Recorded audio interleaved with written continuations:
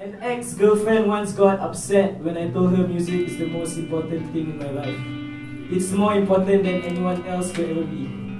I don't want to sound overly dramatic and say it's the only thing that keeps me going. But people in your life come and go. Music is the only thing that I've always been able to rely on. So why wouldn't it be the most important thing in my life? Benji Benji.